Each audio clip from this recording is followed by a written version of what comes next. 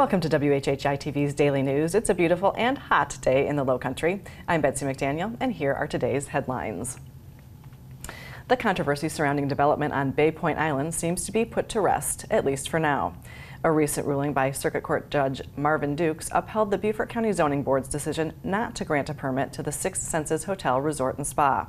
The developer filed an appeal of that decision back in November of 2020, hoping to save the $100 million project that promised to be eco-friendly. The Coastal Conservation League says the failure of the appeal makes it much less likely that a resort will ever be built on the barrier island. Low Country Congresswoman Nancy Mace has gone against her party for the second time in a week, voting as one of only eight Republicans who favored legislation protecting and expanding access to contraceptives. Mace drew the phrase, My state is banning exceptions, protect contraception, on the back of her blazer as she voted to pass a law guaranteeing the availability of contraceptives. Mace herself was a victim of sexual assault when she was 16 that forced her to drop out of school. And she said she can't imagine a world where her daughter or any other woman doesn't have access to birth control or other contraceptives.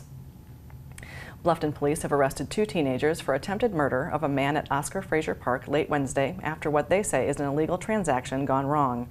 18-year-old Taquan Graham and of Okatee and 17-year-old Eric Matthew of Bluffton are charged in a shootout with another man in the parking lot near the park's playground. No one was critically injured in the shootout.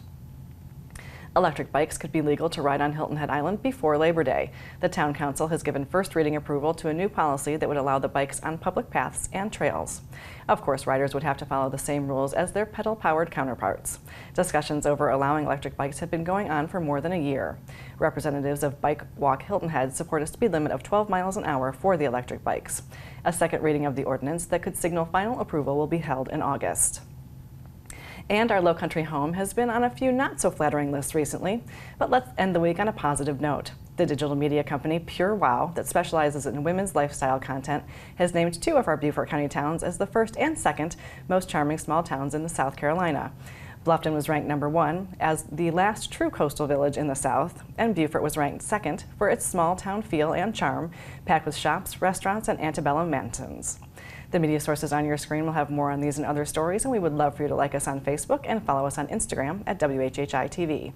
And if you have an idea for a news story, we'd love to hear it, so drop us a line at news at WHHITV.com. And now let's hand it over to Maria for a look at the weather. Thanks, Betsy. All right, so taking a look ahead, it does look like we're going to see some more scattered thunder showers throughout the rest of the week. Saturday, it's going to be cloudy in the morning with possible scattered thunder showers throughout the afternoon. Hilton Head's going to have a high of 87, a low of 78. Bluffton's going to have a high of 90, a low of 75. And Beaufort's going to have a high of 90 and a low of 76. Come Sunday, it's going to be cloudy in the morning as well and possibly have scattered thunder showers throughout the afternoon. Hilton Head's going to have a high of 85, a low of 77. Bluffton's going to have a high of 87 and a low of 74. And then Beaufort's going to have a high of 88 and a low of 75. The sunrise for this weekend is going to be at 6.32 and sunset's going to be at 8.26. Taking a look at the beach tides, Saturday low tide is going to be at 1.04 p.m. and high tide is going to be at 6.14 p.m.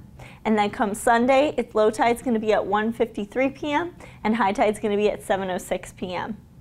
Taking a look into next week, Monday there's going to be possible rain in the morning, but then it's supposed to be sunny the rest of the day. Highs in the 80s, lows in the 70s. Come Tuesday, there's possible rain in the morning as well, and the rest of the day is going to be clear with highs in the 90s and lows in the 70s. And then come Wednesday, it's going to be sunny in the morning, then we're going to have a possible thunder shower in the afternoon with highs in the 90s and lows in the 70s. That's it for today. Let's head it back to the desk. And we'll be back in just a moment to take a look at heat exhaustion and how you can prevent it.